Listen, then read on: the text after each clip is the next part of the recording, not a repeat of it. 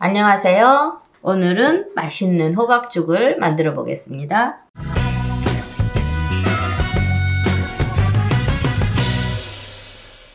호박은 작년에 작년 가을에 이렇게 썰어서 음, 해먹고서 이렇게 반이 남아서 냉동고에 얼려놨더니 이렇게 꽁꽁 얼어 있어요.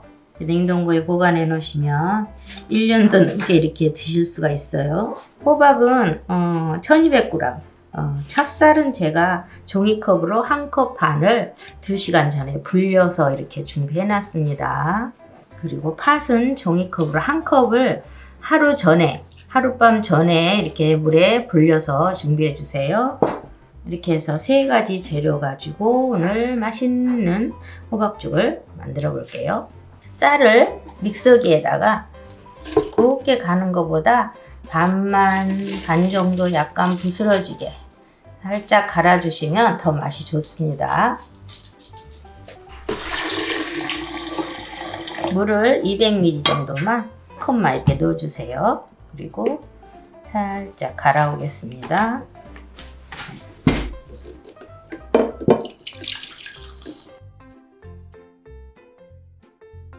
이렇게 가시면은 쌀이 이렇게 몽글몽글하니 반 정도 짜게 해서 이렇게 갈아졌죠? 이 정도만 갈아주시면 됩니다.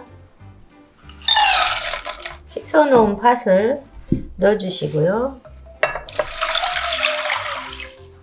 물을 800ml 정도 이렇게 부어주세요. 팥 삶기 전에 설탕을 한 숟갈만 이렇게 넣어주시고요. 소금 3분의 1만 넣고 삶아주겠습니다. 팥이 맛있게 삶아지죠. 강불로 끓여주세요.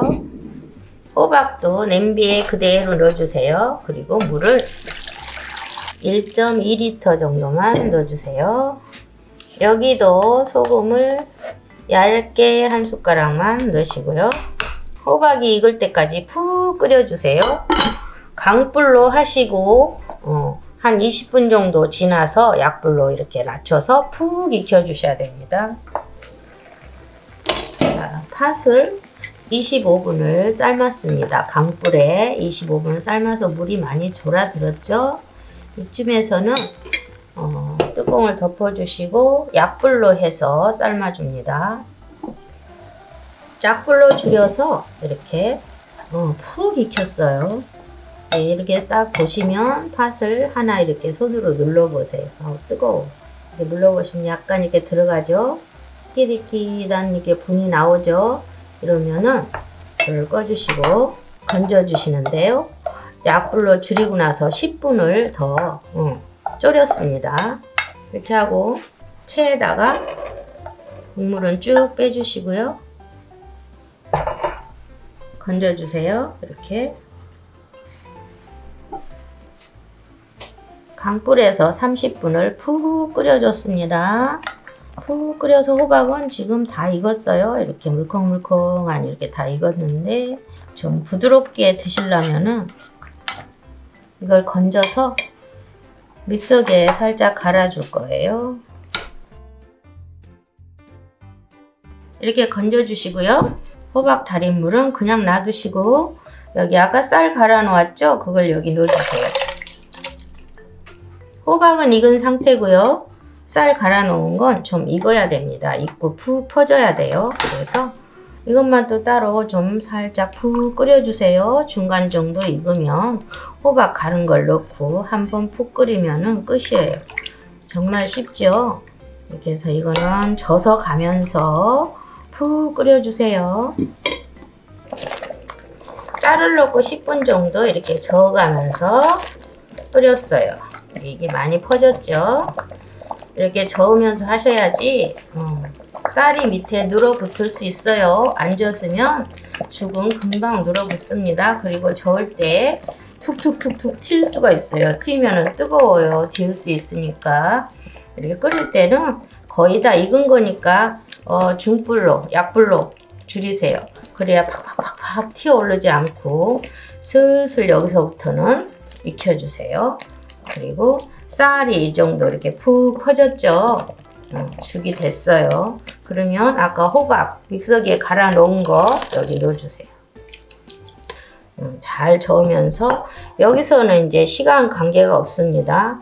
잘 저으면서 쌀만 푹 퍼지고 간만 잘 맞추시면 됩니다. 살살 저으면서 익혀주시고요. 여기서 팥을 넣어주세요. 쌀도 다 익은 상태고 퍼진 상태에서 팥도 익혀 놓았죠. 그러니까 이제 살살 저으면서 적당히 농도를 맞춰서 저어주시면 됩니다. 어때요? 아까보다 이렇게 부드럽고 걸쭉하니 죽 모양이 더 좋아졌죠? 여기서는 이제 간을 맞추셔야 돼요. 제가 아까 소금을 호박 삶을 때 한 숟가락 넣었어요. 그래서 소금 간은 어느 정도 된 것 같아요. 조금 더 싱겁다 하시면 여러분 입맛에 맞춰서 넣으시고요. 저는 4분의 1 정도만 조금만 더 넣겠습니다. 설탕도 한 숟가락만 딱 넣을게요. 여기서는 취향이세요. 소금 넣, 뭐 설탕을 더 넣기 싫으신 분은 어, 그냥 드셔도 됩니다. 호박 자체가 좀 단맛이 있어서 좀 달게 드시겠다 싶으신 분들은 설탕으로 간을 맞추시고요. 네. 소금 간은 더 하실 필요가 없어요. 아까 조금 더 넣었죠. 그 정도만 넣으면 충분할 것 같고요. 그리고 이 죽을 쓰는 그 쌀은 찹쌀을 저는 이용했습니다. 네, 맵쌀로 하셔도 되고 맵쌀 가루를 내서 불려서 하셔도 되고 찹쌀을 살짝 갈아서 이렇게 하셔도 되고요. 밀가루를 뭐 이용하신 분들도 계시고 그러세요. 근데 밀가루보다는 가루를 이용하실 거면 찹쌀 가루를 이용하세요. 그게 더 죽이 부드럽고 음, 건강에도 좋습니다. 호박죽이 아주 부드럽고 잘 되었어요. 그리고 먹을 때 이 파다리 씹히는 맛이 고소하고 맛있답니다. 드시면은 입맛이 없거나 뭐 건강이 안 좋아서 몸이 불편하실 때도 참 부드럽고 좋을 것 같아요. 소금 간을 하실 때될수 있으면 구운 소금이나 천일염을 쓰시는 것도 괜찮아요. 자칫 잘못해서 꽃소금 같은 거는 잘못 넣으면 약간 씁쓸한 맛이 날 수도 있습니다. 주의해 주시고요. 죽은 정말 맛있네요. 부드럽고 입맛 없을 때 좋을 것 같아요. 맛있게 추운 날 따끈하게 만들어 드시고요. 항상 건강하세요. 구독, 좋아요 부탁드립니다. 감사합니다.